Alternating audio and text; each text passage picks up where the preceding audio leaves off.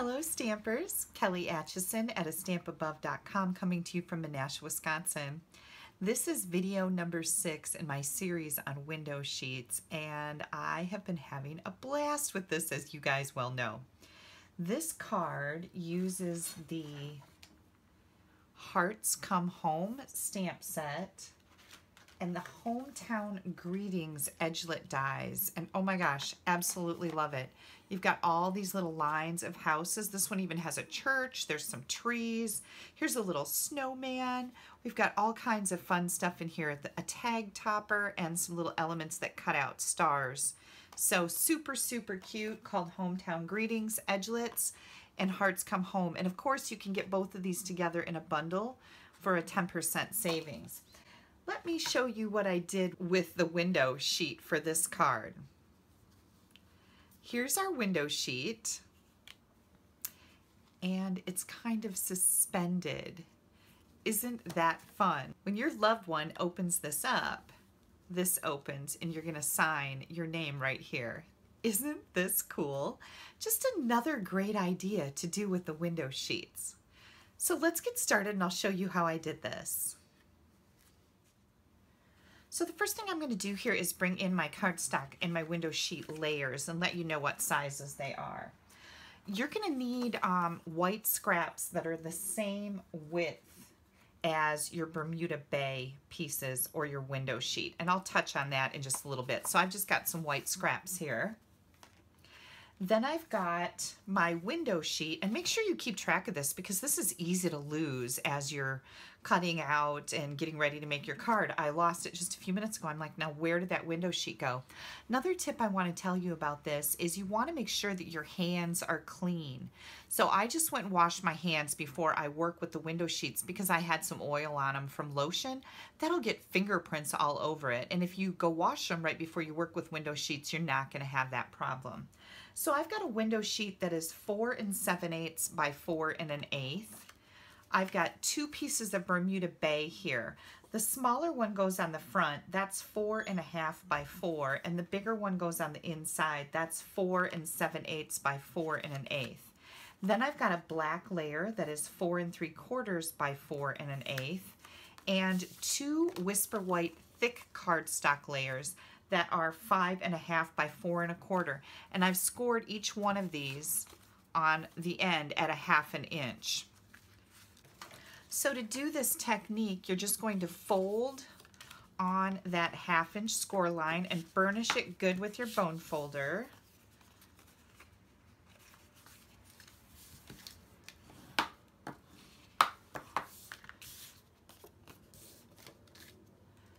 And then I took my window sheet and I'm going to use fast fuse because this is like sticky strip in a tape runner. It's like it's like tape on steroids. I absolutely love it. And I'm going to put my fast fuse down the edge of this tab that we have on the inside. Remember, when you use fast fuse, you want to give it that little check mark at the end. Hang on, I just got some all over the place. I don't want my card sticking in it. because you know, most of the time I'm kind of a disaster. And then I'm going to add that right to the other one also.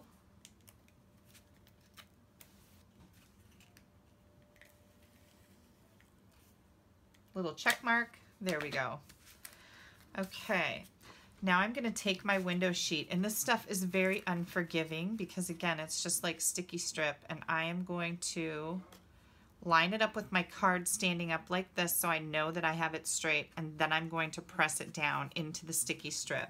And I'm going to do the same thing with the other one. I'm going to line them up at the bottom here, away from the tab, get them straight and even, and then I'll press that together. So in order to do this technique, it's nothing more than putting that window sheet on these tabs on the inside. So then when you open your card, you've got that window sheet that's gonna have our images on it. You could do all kinds of floating images um, on this. I just chose a Christmas one because I knew that these houses would look really cool. So let me show you just a couple tips here. I'm gonna take the smaller of the Bermuda Bay and I have my white craft ink pad here. And I just punched out a circle for my moon. So I'm just going to place my template on here and I'm just going to sponge in my moon. And that looks great.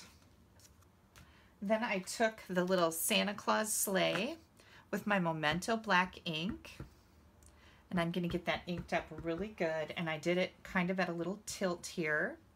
So we're going to stamp that on there. So we're going to take our black layer and we're going to adhere that to the front of our card. Let me find a glue bottle with some glue in it. Here we go. This one feels full. Hmm, like brand new. It's almost like a brand new Versamark pad. You just want to go, ooh, pretty. okay, here comes our black layer.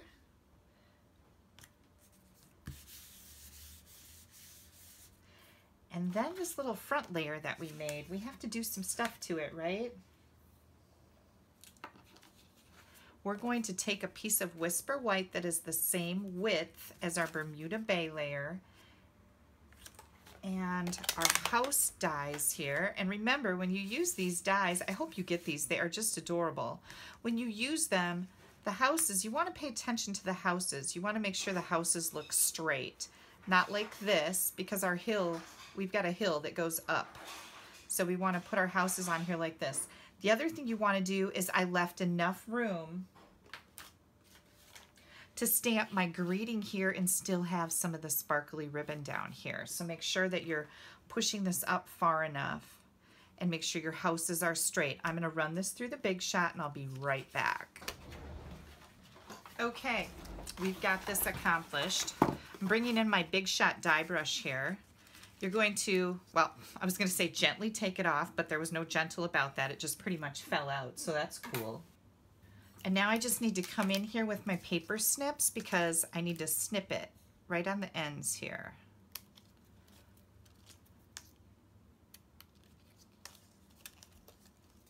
There we go. Easy peasy, lemon squeezy. Look at almost all the little elements have already fallen out. I'm just gonna give it a little go over with my die cut brush. If you guys don't have one of these, you need one. It is worth its weight in gold. I promise you, you will absolutely adore this. Okay, look at all the little pieces are out. I didn't have to do any poking with my pokey tool. That's amazing, right? Because if there's anything that I don't like, it's like piddling around with stuff like that. It really makes me a little insane. Then we're going to stamp our greeting on here. And I didn't have this mounted. Okay, I'm using Bermuda Bay ink. Make sure I've got that right set up. I know I stamped one upside down and I was pretty not happy with myself. Yep, nothing like a triple check, ladies and gentlemen. There we go, joy to the world. You're gonna glue this right onto your layer. And I left a little bit of um, that Bermuda Bay peeking out down here. You can do whatever you want there. You're going to adhere this on here.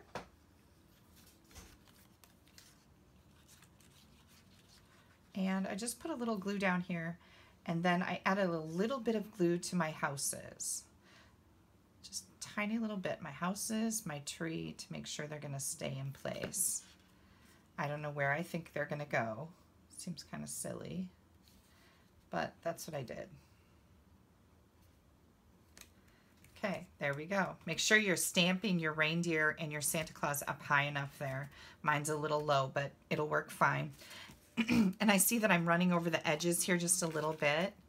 Turn it over and take your paper snips and just trim that off. It's the easiest way to follow along that line and get it nice and straight.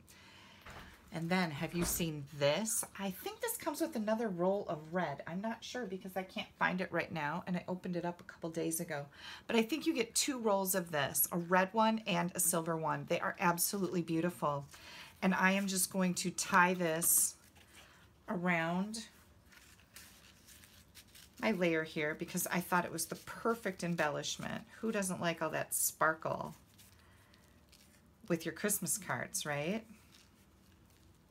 If you wanted to, you wouldn't even have to make this a Christmas card. You could leave the Santa and the moon off and you could stamp a thank you here because this is a really versatile little stamp set also. You guys know how much I love that, right? Just gonna trim these off. And then I mounted this layer on dimensionals. Why? Well, because I can. and I love them. They just add that little extra something that makes your cards extra special. And we get a lot of dimensionals in a pack. And make sure you're using your edges like I'm doing here. Why would you throw that away, right? See if I can get these off. My fingernails are in terrible shape, you guys. They're like super thin and breaking. I can't even hardly poke them into the dimensionals. I know you're all sobbing right now for me, right? Yeah, it's a pretty silly thing to whine about. But it's my little thing to whine about. Everything else must be going pretty good in my life, right? I can whine about my weak fingernails. Okay, here comes this layer. And we're going to set this right in here. Oh, love it. Okay, now what to do with this inside. We've got this layer and I stamped the greeting on there that says enjoy the warmth of the season. Let's see if I can get this on here straight. Yep, I always like to do that straight. And I use the black ink on the Bermuda Bay. Make sure that's right side up. And I'm just to stamp right up here. Perfect. I'm on a roll. Things are going well. And we're going to glue this in the back side of our card right here.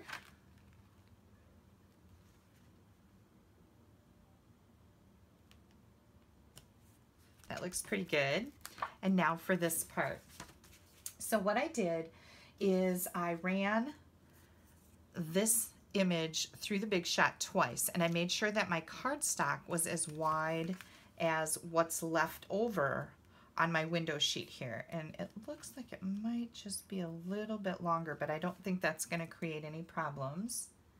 Let me measure that for you. Make sure I can tell you what size this is. It is four and three eighths. So you need a piece of scrap Whisper White cardstock that's four and three eighths.